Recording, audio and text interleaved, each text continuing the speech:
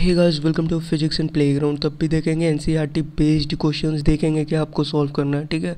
Reproduction का है total number of questions है सेवेंटी और टाइम है thirty seconds for each questions देखो मैक्सिमम थर्टी सेकंड्स मिलेंगे और minimum fifteen to twenty seconds मिलेंगे। और ये सारा सोचा समझा चीज़ है, ठीक है? किस क्वेश्चन में कितने देने हैं टाइम ये सारा प्री प्लान है।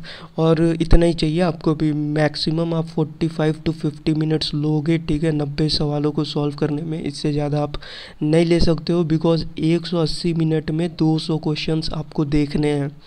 सॉल्व भले ही 180 करने हैं, पर देखने 200 हैं। बिकॉज़ ये जो एग्ज़ाम अब वैसा नहीं रह गया कि सबका पेपर एक है। आप जो सॉल्व करोगे, मे भी आपका कॉम्पिटिटर दूसरा क्वेश्चन सॉल्व करके आएगा।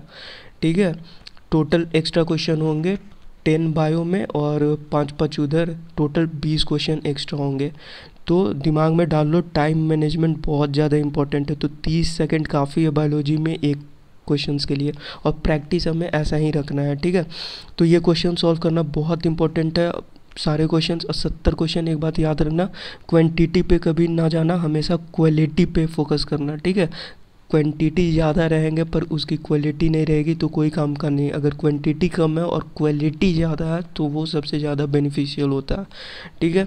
सेकंड पॉइंट इसका आंसर की मिल जाएगा आपको टेलीग्राम पे। विदाउट आंसर की पेपर डालना कोई मतलब नहीं होता तो इसका आंसर की आपको मिलेगा टेलीग्राम पे।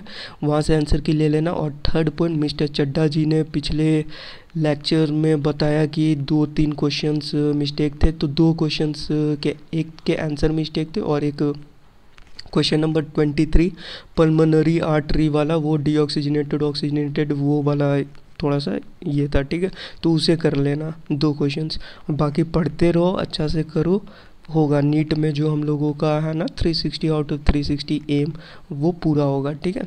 और बहुत स्टूडेंट का डाउट आता है इधर उधर से देखो, जो पूछना है ना क्वेश्चंस पूछो, ठीक है? Physics in playground at the rate gmail dot com वहाँ पर आप लोग क्वेश्चंस मैसेज कर सकते हो। अब कोई पूछेगा, भैया ई डब्ल्यू एस की कैटेगरी में सेंट्रल बना लूँ, यहाँ से बना लूँ, भैया बी सी भरूँ सी भरूँ डी सी भरूँ? तो यार देखो मुझे खुद नहीं मालूम, मेरे फॉर्म में ये सब होता ही नहीं है। ये सब जो ऑप्शन है ना इंटरनेशनल अब मैं क्या जा करके बोलूँ कि ई डब्ल्यू एस और जी डब्ल्यू एस दे दो, ये दे दो, वो दे दो। तो मुझे खुद नहीं मालूम है मतलब कहना ये चाहता हूँ कि मुझे नहीं आता है ये सब चीज़ें, ठीक है? तो ये सब चीज़ें आप कहीं और से आप लोग सीख सकते हो। अब मैं इधर कहीं टीबी के पेशेंट में लगा हुआ हूँ ठीक है, उसके केस में और आप लोग इधर अलग क्वेश्चंस करते हैं तो मे भी रिप्लाई कुछ कभी गलत भी जा सकता है तो इसलिए ऐसे क्वेश्चंस ना करो, ठीक है?